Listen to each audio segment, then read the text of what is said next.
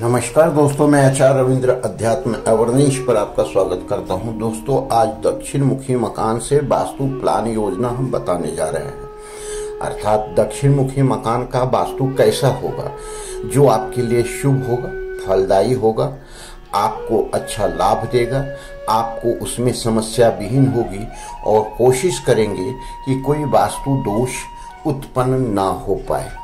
क्योंकि अगर वास्तु दोष उत्पन्न होगा तो आपके जीवन में कई समस्याएँ ये देने वाला क्षेत्र माना जाता है। अब ध्यान से व्यवस्थित होकर के अंत तक देखें कि कैसे ये वीडियो आपके लिए बहुत ही अच्छा शुभकारी हो सकता है। सबसे पहले आते हैं कि वास्तु से जो प्लॉट है, वह प्लॉट के आकार पर ही सारा चीज़ निर्भर करता है। प्लॉट का आकार अगर वर्गाकार है तो बहुत अच्छा है। या आयताकार है तो बहुत अच्छा है। अब इसके बाद जब प्लॉट हो जाता है तो हम चूँकि निर्माण करने के वक्त में ये कर सकते हैं कि इसका ढाल जो है, है हमको देना है दक्षिण से उत्तर की तरफ़। तो ये अगर आपने कर लिया तो वास्तु बहुत सारे नियम इस पर निर्भर करेगा। अब हम इसको निकालेंगे सबसे पहले कि इसका जो है सो सेंटर पॉइंट साउथ कहाँ आता है। क्योंकि सेंटर साउथ को निकालना बहुत ज़रूरी है।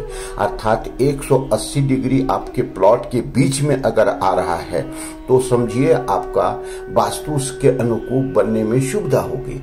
अगर पाँच मिनट इधर, पाँच डिग्री इधर उधर हो रहा है तो भी चल सकता है। तो अब ध्यान से समझिए, इसको सेंटर निकालना है। सेंटर निकालने के लिए सबसे पहले इसके केंद्र को, क्षेत्र को निकालेंगे। अर्थात चारों कोनों में कील कर करके एक रस्सी खींचेंगे, जहाँ क्रॉस करेगा, उस पॉइंट पर अपना कंपास रख देंगे, मोबाइल रख देंगे, प्लेन जगह बना करके, और उसके बाद देखेंगे कि 180 डिग्री आ रहा है, ज़ीरो डिग्री कहाँ आ रहा है? ज़ीरो डिग्री अगर आपका ठीक उत्तर के मध्य में आ रहा है, और 180 डिग्री ठीक आपके सेंटर साउथ में आ रहा है, अर्थात दक्षिण के मध्य में आ रहा है तो आप निफिक्र हो जाएँ, आपका वास्तु के अनुरूप बनने जा रहा है मकान। सबसे पहले लेंगे कि मेन गेट हमको तीसरे चौथे पद में लेना है। चौथा सर्वश्रेष्ठ है। अगर चौथे में आपका गेट पूरा नहीं बन पा रहा है तो आप ये समझिए कि तीसरे पद भी ले सकते हैं। ये अगर वर्गाकार का रूप में है तो 50 बाय 50 ले ले, या आयताकार के रूप में है तो 30 बाय 50 का ले लें उसके बाद जब हमारा सेंटर एकदम बिल्कुल मिला करके देखते हैं, सेंटर से एक पद इधर, अर्थात अग्नि कोण की तरफ़ आपका गेट आएगा और अग्नि कोण से जब चलेंगे, नौ भाग में नैरिक्त कोण तक बांट देंगे तो ठीक चौथे पद में आपका गेट गेट का आप जो है चिन्हित कर ले। उसके बाद जो है, उसी के अनुरूप जो है सो डिज़ाइन नक्शा कब करवा लीजिएगा उसके बाद हम आते हैं कि इसका गेट आ गया। अब हम जो है, कम से कम जगह साउथ में छोड़ेंगे। साउथ में केवल एक दरवाज़ा के सिवा कुछ भी छोड़ने की, खिड़की इत्यादि की आवश्यकता नहीं है।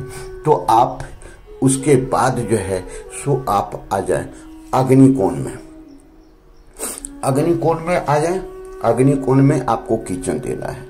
किचन जो देना है, उसका प्लेटफॉर्म खाना बनाने वक्त में जो है, सो पूर्व की ओर मुख हो, जो गृहिणी खाना बनाएँगे, पूर्व की तरफ़ हो। और प्लेटफॉर्म का ऐसा निर्माण करें कि जिसका स्टोर रूम जो है, आपका उस किचन घर का जो है नैऋत्य में आए या साउथ में आए। उसके बाद पानी का जगह, उस जगह पर जो देना है, यह उत्तर की दीवार पर या ईशान कोण में आपको देना है। अगर ये आपने कर लिया तो समझिए बहुत कुछ हद तक किचन आपके सपोर्ट में कार्य करने लगेगी। ध्यान क्या रखना है? किचन जब भी बनाएँ तो किचन का कलर आपका जो है, सो ऑफ़ वाइट हो। उसके बाद अगर ऑफ़ वाइट नहीं हो सकता है तो हल्का आप रेड में ले सकते हैं। अगर वो नहीं हो सकता तो हल्का हरा में ले सकते हैं। बहुत अच्छा रिज़ल्ट देगा। उसके बाद मास्टर बेडरूम का निर्माण कर लेते हैं। मास्टर बेडरूम जो है, आपका नेरिक्ट कौन में हो सेंटर साउथ में हो, बहुत अच्छा रिज़ल्ट देगा। उसके बाद इसका मेन जो होता है, यहाँ पर अटैच टॉयलेट बनाने का, वह आपको एस एस डब्ल्यू के क्षेत्र में आना चाहिए। यहाँ से ही पानी का निकास होना चाहिए। क्योंकि आजकल ड्रेनेज का जितनी भी व्यवस्था है, नगर निगम स्वयं करती है डिज़ाइन के वक्त में, इसलिए सेप्टिक टैंक की यहाँ आवश्यकता नहीं है। उसके बाद आ जाए। जब मास्टर बेडरूम हो गया तो उत्तर में और पूर्व में थोड़ा जगह अधिक छोड़ दें, खुला छोड़ें। जैसे आप कहते हैं उसको कि आँगन इत्यादि के रूप में मान लें, खुला स्थान या शहर में इसको वास एरिया कहते हैं। तो यहाँ पर आप खुला स्थान अधिक से अधिक छोड़ें छोटे छोटे पौधे इत्यादि अगर लगाना हो तो इसी क्षेत्र में लगाएँगे। ध्यान एक चीज़ रखना है कि जो भी मकान बने वह आपका चारों कोण बराबर हो। कोई क्षेत्र निकला या कटा हुआ डिज़ाइन में नहीं होना चाहिए क्योंकि हम वास्तु से मकान बनाने जा रहे हैं। तो उस क्षेत्र में अब ईशान कोण में हमने पूजा दे दिया।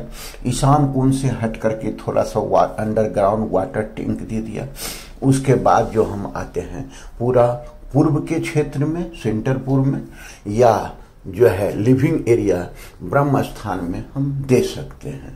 तो अगर वह जितने रूम आपको निकालना है, एक रूम दो रूम तीन room T three B H का बनाना चाहते हैं तो एक पश्चिम में रूम आ जाएगा, एक बाइब कोन में आपका रूम आ जाएगा, और अगर आपको लगता है तो पूर्व में भी एक रूम ले सकते हैं। उत्तर में आप खुला रखेंगे और पूजा रूम रखेंगे और हॉल से जुड़ा हुआ रहेगा किसी प्रकार का वहाँ निर्माण नहीं करना है। ब्रह्म स्थान में भी किसी प्रकार का कोई निर्माण नहीं करना है। खुला रहेगा, हॉल रहेगा और जो है, सोफा उफा इत्यादि रखने के वक्त में उसको आप डिज़ाइन कर सकते हैं कि अधिक से अधिक भारी सामान वाला नैऋत्य की तरफ़ देना है, पश्चिम की तरफ़ देना है या दक्षिण के दीवार में ही देना है। तो इस तरह से हम देख लिया। अब आ गया कि इसका कलर पूरे मकान का ऑफ़ वाइट होगा। कहीं पर भी जो है, सो आपको कलर में डिस्टर्बेंस नहीं करें, वास्तु दोष उत्पन्न नहीं करें। तो इस प्रकार जब हम डिज़ाइन कर लेते हैं तो यह वास्तु प्लान के अंतर्गत आता है, वास्तु योजना के अंतर्गत आता है। तो इस नक्शे से अगर आपका घर बनता है तो काफ़ी अच्छा शुभ कार्य होता है और 99 परसेंट रिज़ल्ट देने वाला होता है। धन्यवाद, फिर मिलते हैं अगले वीडियो में। नमस्कार।